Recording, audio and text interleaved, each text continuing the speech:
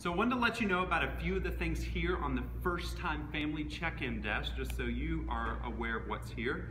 Uh, first are these pamphlets that are located on the desk. Uh, these are great to give to any family who's coming for the first time. That way they have a snapshot of what their kid is going to experience.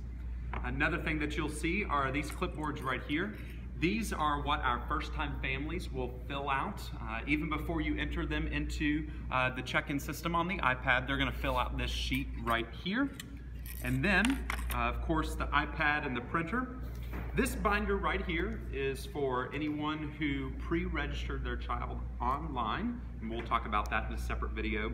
And the last thing is a drawer that sits on the desk that has a handful of items in it of course, uh, extra uh, first-time family check-in cards. Uh, there is keys in here, uh, one to the storage room, uh, one for the iPad stand, and then these black keys are for the self-check-in kiosk cabinets. And then you'll also see some blank name tags. These are gonna be in case our system were to shut down, but again, there'll be a separate video on that. So that's a little bit of a rundown here on the first-time family check-in desk.